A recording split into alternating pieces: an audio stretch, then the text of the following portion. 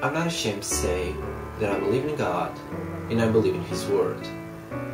Like when He says that a father can sell his daughter to slavery. The Bible teaches us that no one has all the answers, only God does. Even though it says that a believer can drink poison and don't die. And that is not true.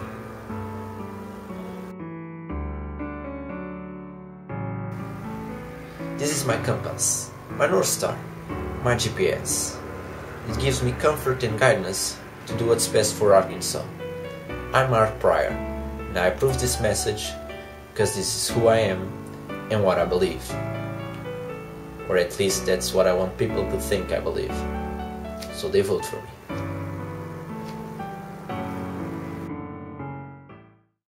Hello everybody, I hope you enjoyed this video.